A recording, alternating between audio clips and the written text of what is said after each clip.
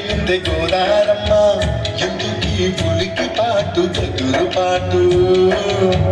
ఎవ్వరో వస్తున్నట్టు ఎదురు చూస్తున్నది